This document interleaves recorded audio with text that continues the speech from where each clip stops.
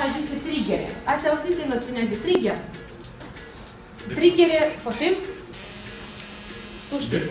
Declanșator, exact. Triggere sunt acele elemente de pe landing page care sporesc conversia dintre client potențial, adică cel care a făcut click numai pe landing page vostru și cel care cumpără.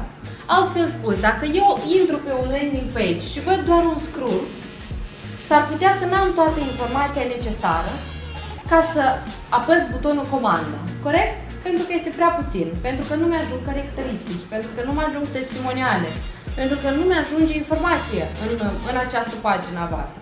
Pe de altă parte, s-ar putea să intru pe un alt landing unde există 20 de scroll cu foarte multe informații și atunci să decid să cumpăr. De ce am decis să cumpăr din al doilea landing și nu din primul?